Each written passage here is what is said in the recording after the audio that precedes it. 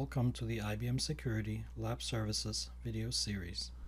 This video is about configuring the DB2 server for the IBM Security Identity Governance 5.1.1 appliance. As reference, the viewer should be looking at the IBM Security Identity Governance 5.1.1 Knowledge Center entry for installation guide, prerequisite software configuring the DB2 server. In this video, we will be using a Red Hat 6.6 Enterprise server to perform the DB2 configuration steps.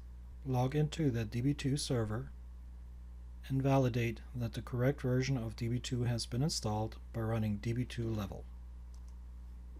The supported minimum version for DB2 is 10.5.0.3. This installation has actually 10.505 installed.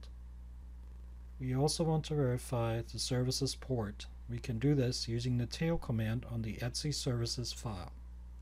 The instance created during the install was called db2inst1 and the service port is 50,000. For this video we will be using this system which has an IP of 9.48.172.244. We now have the required information to perform the configuration which is a DB2 server IP address or fully qualified DNS name, the instance port, we will select a database name of isecdb, the instance owner which is db2inst1, and the instance owner password. The next steps are to create the database using the following statements. To perform these steps, log into the system as root and then su to the instance owner ID.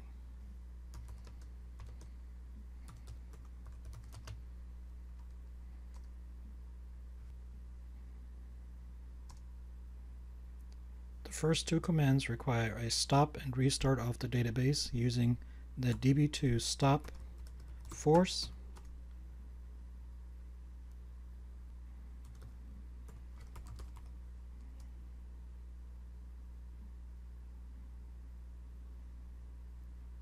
We're now ready to create the actual database using the db2 create command.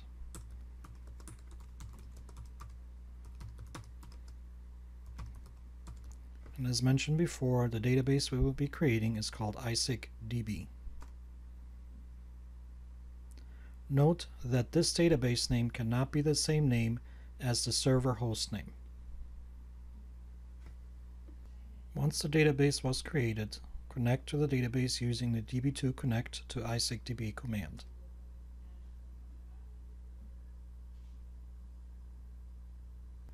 Set the logging parameters set the buffer pool size, create the temporary table space, create the user temporary table space, stop and restart the database.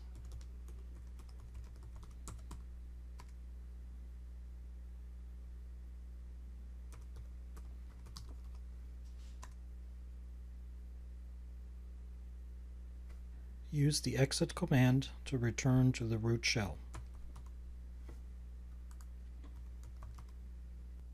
As the root user, create a directory called isig within the temp directory and upload to this directory the file called isig511 db2 installation all version 001.zip. Unpack this file using the unzip command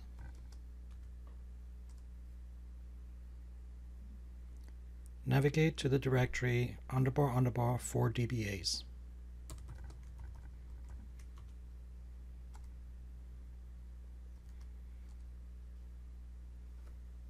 Run the following sequence of commands to enable the Unix create user script from being executed.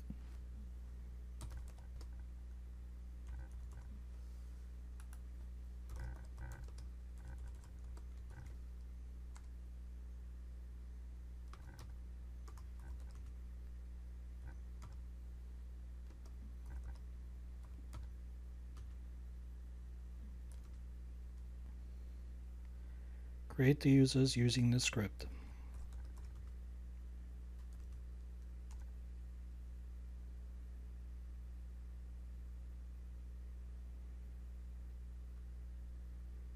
You can validate the execution by looking at the etc password file.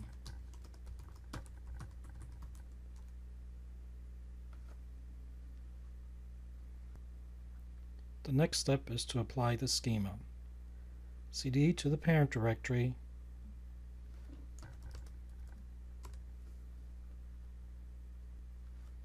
cd to the db installation directory edit the login.sql file.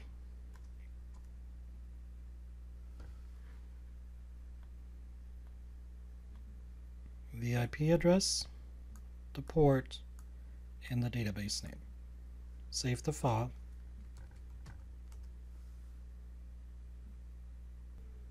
The SQL script is executing using the clp plus command.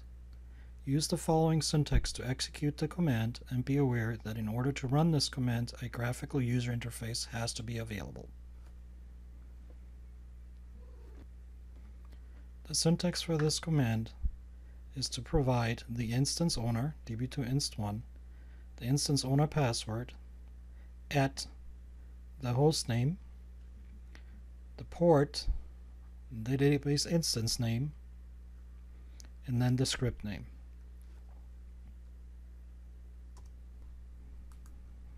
enter the data file path.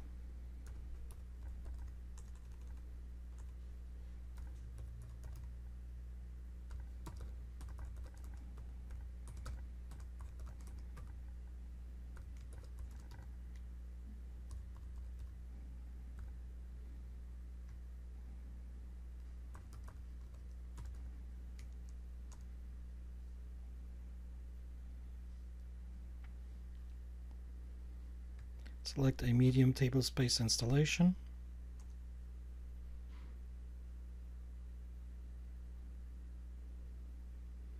The execution of the script can take some time, so continually check if any more output is generated. Continue to monitor the script execution, and once in a while you will see connection information along with the command completed successful information. Wait till the SQL script execution has completed and the SQL prompt is displayed. You may have to move the slider bar on the right side up and down to make sure that you're all the way at the bottom. Type exit to exit CPL+. plus.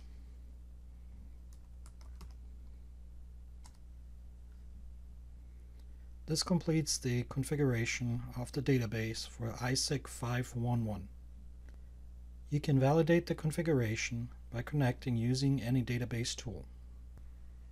As an example, I'm using the DB Visualizer, connecting to that database server, the database port, the database instance, with the database user ID and password.